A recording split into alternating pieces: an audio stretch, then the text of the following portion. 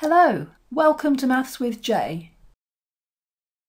So we want to integrate x to the power of 5 multiplied by the natural log of x with respect to x. And we know that x is positive.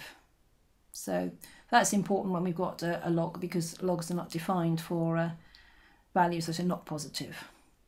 Right, so let's have a look at our formula for integrating by parts. We know that the integral of the product of u and dv by dx is equal to the product of uv minus the integral of v times du by dx with respect to x. Now usually when we've got a power of x we let u be equal to that power. However this is a very special example where we're going to want to let u equal the natural log of x. And the reason for that is that when we differentiate it, we get effectively a power of x, 1 over x, which of course is x to the power of negative 1. So if we've taken u as equal to log x, then we need to take dv by dx as the other part of the product, which is x to the power of 5. So it looks as if it's going to get more complicated when we integrate because it goes up by 1, so x to the power of 6 over 6.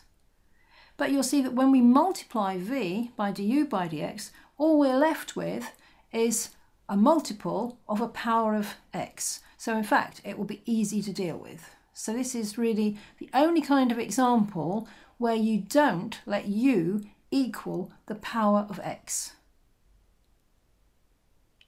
So let's just uh, reduce that down a bit to give ourselves a bit more space.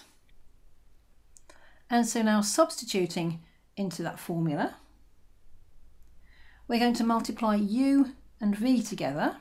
So that's log x times x to the power of 6 over 6. So it's easier to write the x term first of all, so that it's obvious that we're only finding the natural log of x.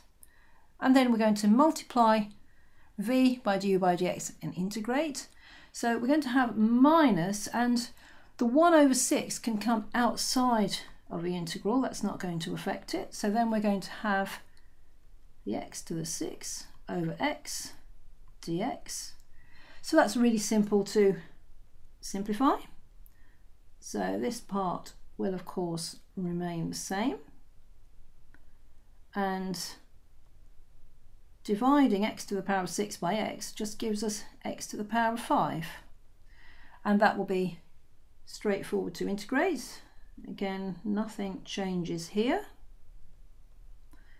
So we've got a sixth and then integrating x to the fifth is x to the 6 over 6 and we've integrated so now we need constant of integration.